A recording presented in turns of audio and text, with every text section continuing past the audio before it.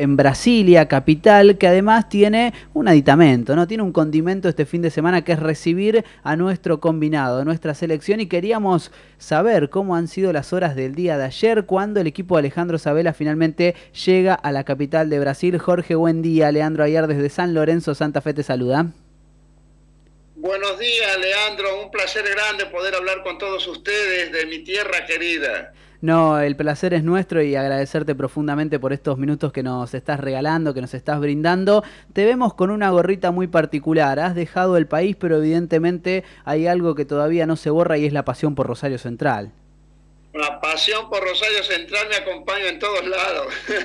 ¿Cómo, ¿Cómo se ha vivido estos últimos años de Rosario Central estando lejos? ¿no? Años que han sido sufridos, que probablemente han sido duros por el tema de la B Nacional. Le ha tocado ascender, ha ganado los dos clásicos esta última temporada. Sensaciones para todos los gustos ha habido.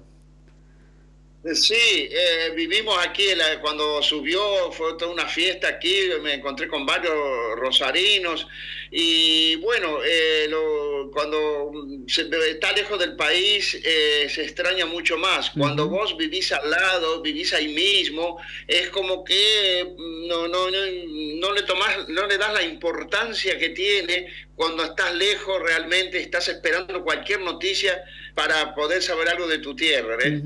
Es como que se valora más cuando uno lo tiene lejos, ¿no? Parece, parece dar esa sensación. Exactamente, se valora mucho más. Me imagino, Jorge, cómo se habrá gritado el gol de Di María entonces, por partida doble. Primero porque fue de la selección argentina y segundo porque salió de la cantera canalla.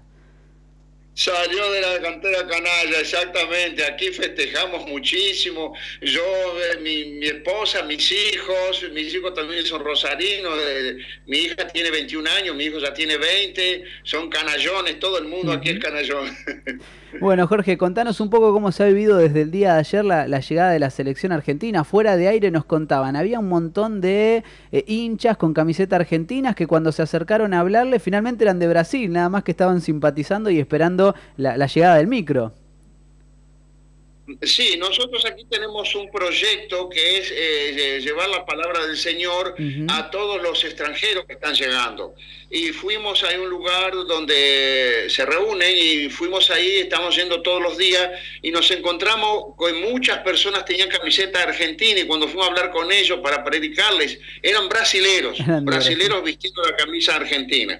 Y ellos nos, claro, nos cargan, ¿no es cierto? Y como nosotros los cargamos a ellos también. Pero ellos te dicen, sí, los cargamos, dice, porque queremos que pierda Argentina, porque consideramos que es un equipo poderoso y que puede ser el campeón.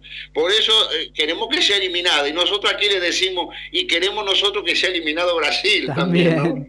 Sí, sí, existe esa rivalidad y bueno, además eh, la selección de Colombia tiene un técnico argentino, así que no solamente vamos a estar haciendo fuerza porque Colombia le gana a Brasil, sino también porque Peckerman eh, puede hacer una buena campaña en ese mundial. Exactamente. Ahora hay una cosa muy curiosa. Sacando el tema del fútbol, eh, nos reciben muy bien acá en Brasil, nos reciben con los brazos abiertos, no, te, dan trabajo, el solo hecho de decir que sos argentino ya te abren todo el camino, no, no tenemos ningún inconveniente en nada y, la, y las cargadas son en broma, ¿no es cierto? Como nosotros podemos embromar allá cuando es una rivalidad entre Central y Ñulo, Boca y River, eh, pero eh, eh, fuera de eso nos reciben muy bien y estamos bien cómodos, gracias a Dios. Este año nuestra tierra. Sí, vos sabés que eso que remarcás, Jorge, es algo que los periodistas que están allí también lo remarcan, el hecho de que la rivalidad queda solamente en lo deportivo, pero que la hospitalidad con la que están recibiendo allí en Brasil es realmente muy generoso por parte, por parte de los de, todos, ¿no? De los que están en los hoteles, en los comercios, en los negocios, y han sido muy bien recibidos, más allá de, de esta rivalidad deportiva. ¿Qué palpito hay para el partido de mañana? Bueno, aquí eh, todo, todos estamos esperando, queremos que Argentina gana, estamos seguros que gana. Eh, sabemos que en este momento los equipos están muy preparados eh, en cuanto a, técnica, físico. Entonces, este, vos te encontrás con los jugadores africanos que al mayor a lo mejor muchos de ellos no tenían mucha eh, eh, habilidad, algunos sí, otros no, pero tienen mucho físico, mucha preparación. Entonces, entonces nos, nos eh, eso lo que dificulte un poco, pero estamos seguros que Argentina va a ganar. Ahora, acá el gobierno brasilero distribuyó aquí en los argentinos argentinos que están llegando en un lugar que se llama la Granja do Torto. La Granja do Torto es un lugar oficial, es la presidencia de Brasil, y le dieron ese lugar para poner todos los trailers y están ahí todos muy bien acomodados. Ah, mirá qué bueno. ¿Les ha sorprendido, Jorge, la cantidad de argentinos? Porque eh, a lo largo de todo lo que ha sido el Mundial, siempre 30.000, 40.000, 50.000 personas en cada una de las sedes que les tocó estar, tanto sea en Belo Horizonte como eh, también en Porto Alegre, en San Pablo, y ahora en Brasilia también se espera gran cantidad de, argentinos. ¿Les sorprende la, la llegada de los compatriotas? Sí, ya nosotros estamos pensando en ir a la granja del torto, como se llama aquí la granja del torto, para saludarlos, para dar un abrazo a los argentinos. Ah, eh, sí, la televisión toda brasilera está diciendo que se espera una invasión de argentinos en Brasilia. Y la gente mismo va, vos ves que, que van a sacar, eh, ya he visto brasileros y a saludarlos, a sacar fotos con ellos, o sea que fueron bien recibidos. Después cuando va a la cancha ya cambia la cosa, ¿no es cierto? Como, nosotros también allá gritamos en contra de ellos, ¿no? No, sin duda, eso, eso, parte del folclore. Fuera de eso, eh, es, un, mucho cariño, somos bien recibidos, eh, te, hacen bromas, ¿no es cierto? Ahora hay una cosa muy curiosa, ¿no? Eh, cuando juega, un, eh, adicional a esto, fuera más de la selección, cuando juega cualquier equipo argentino, mismo que uno no sea hincha de ese equipo, vos te volvés un hincha fanático de ese equipo, porque es de tu país. Claro, sí, sí, hace fuerza. Es diferente cuando estamos en Argentina, por ejemplo, Puedo decir, no, yo no le hincha por ni un sol boy, o, no soy de River, no soy de Boca, pero cuando estás fuera del país, vos sos de River, de Boca, de Ñol, de todos los equipos rosari eh, de argentinos, porque es de tu país. Claro, todo el equipo que represente, ¿no? Argentina internacionalmente.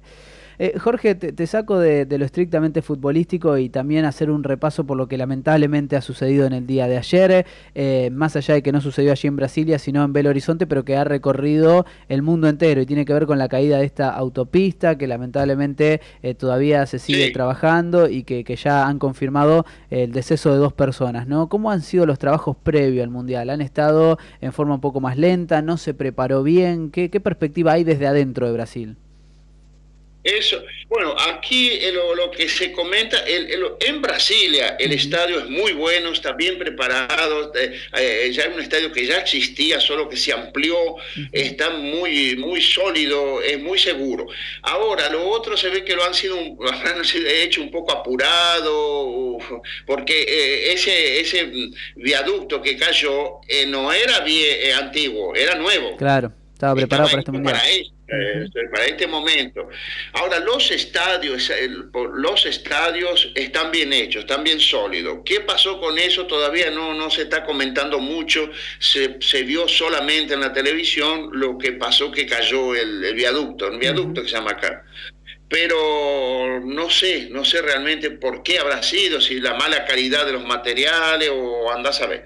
Pero los estadios, por lo menos los estadios son eh, fuertes y son confiables. ¿Tiene ticket, tiene entrada para ir mañana a ver el partido ya que le queda tan cerca ahí en Brasilia? No, no tiene, imposible, ya no hay una sola entrada. Mi hijo quería ver, está desesperado atrás de las entradas, está costando la, más barata, la más barata está costando casi 200 reales, lo que hoy sería unos 80 dólares, más o menos la mínima, la más barata, de ahí para arriba, ¿no? Pero no se consigue, no se consigue. Tal vez, no sé si hablar en las reventas, en el momento, pero no, no, no, es muy difícil encontrarlas, ya están todas, todas vendidas. Ojo con la reventa que se está armando un revuelo grande acá en Argentina, porque hay algunas que están a nombre de Julio Humberto Grondona, nada más y nada menos que el presidente de la FIFA, que evidentemente también está en el tema de la reventa. Es una cosa increíble, ¿no? Sí, terrible. Eh, Jorge, si Argentina y Brasil llegan a la final, ¿qué hacemos? ¿Por quién hinchamos? Bueno, en primero, de, por supuesto que acá somos todos hinchando para Argentina desesperadamente, pero eso sí, llega a haber una final, te digo que me hubiera gustado estar a todos nosotros estar allá en la Argentina, porque aquí nos van a cargar si llegamos a perder, por amor de Dios. ahí vamos a hinchar para que gane, pero ya hemos pensado, nos vamos todos a la Embajada Argentina, porque ahí este, se, se, juntan todos los argentinos, a veces nos juntamos ahí para ver los partidos ahí mismo. Y ahí en la Embajada Argentina, bueno, ya estamos nuestro país, ¿no? Y está aquí, unos 30 minutos de donde nosotros vivimos, aquí en el centro. Está bien, Jorge, bueno, agradecerte muchísimo por, por estos minutos. Ojalá Argentina gane y ojalá la semana que viene podamos volver a charlar ya palpitando las semifinales, ¿te parece? Sí, bárbaro. Dios los bendiga grandemente. Muchas gracias y un abrazo muy, pero muy grande aquí desde la localidad de San Lorenzo, Argentina. Gracias, ciudad que quiero muchísimo, mucho, mucho. Ahí conocí a mi esposa. Ah, mire, ¿qué tal? Espectacular, se llevó lo mejor entonces. Bueno, ahí me sí, sí, yo trabajaba ahí en IPF y ahí la conocí, yo estaba como misionera ahí en la iglesia de ustedes precisamente. Ajá, ¿qué tal? Bueno, y allí conoció el amor. Jorge, un abrazo grande, vamos a Argentina mañana y el contacto va a estar hecho seguramente la semana que viene. Gracias, Leandro. Dios te bendice. Muchas gracias. Así pasaba entonces la palabra de Jorge Raúl Cuerci. Hacíamos este pastor rosarino que vive en Brasilia, ciudad que mañana va a tener nada más y nada menos que a la selección argentina participando a partir de las 13 horas en el partido frente a Bélgica, instancias de cuarto de final. Una charla muy amena. Hicimos recorrido hasta por Rosario Central. Mira, porque me apareció Jorge con el gorrito canalla. Yo digo, uy, un rosarino, un canalla en Brasilia. Así que también repasamos un poco de la del equipo que ahora dirige y comanda Miguel Ángel Russo, charlamos de la selección argentina, de cómo se vive también en la situación que sucedió lamentablemente ayer en Belo Horizonte, de lo cual vamos a estar charlando en un ratito más porque son las diez y media y nos tenemos que meter en las efemérides del día.